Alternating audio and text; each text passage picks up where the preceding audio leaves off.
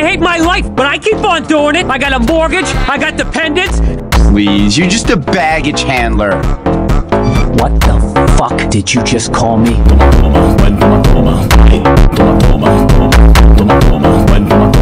Well, I started you, and I can end you.